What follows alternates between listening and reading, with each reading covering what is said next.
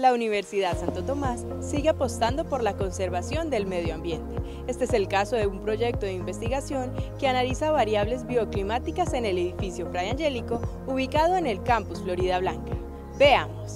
En este momento eh, nos encontramos eh, finalizando eh, la primera parte de la caracterización climática de la investigación que llevamos la Facultad de Arquitectura con la Facultad de Telecomunicaciones de la seccional Bucaramanga. Esta primera parte que se culmina eh, caracteriza el clima de nuestro entorno a través de unos aparatos diseñados por el ingeniero Sergio Zavala que se encuentran en la cubierta del edificio Fray Angélico.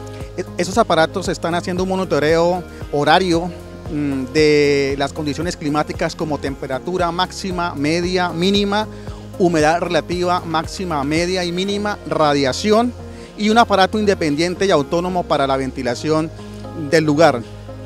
Llevamos en este proceso un poco más de ocho meses en lo que ha sido el montaje de los aparatos de monitoreo en cubiertas y el monitoreo en las cuatro fachadas del edificio. Empezamos la recta final. Estamos preparando de igual manera mm, una segunda fase que está en construcción y futura aprobación, que sería la intervención interior del edificio, que ya serían las redes internas y la caracterización de su maquinaria para así llegar a un balance final de la investigación y de esta manera lograr un edificio en armonía con el medio ambiente, centrados especialmente en la eficiencia energética y la calidad de sus materiales en cuanto a su envolvente.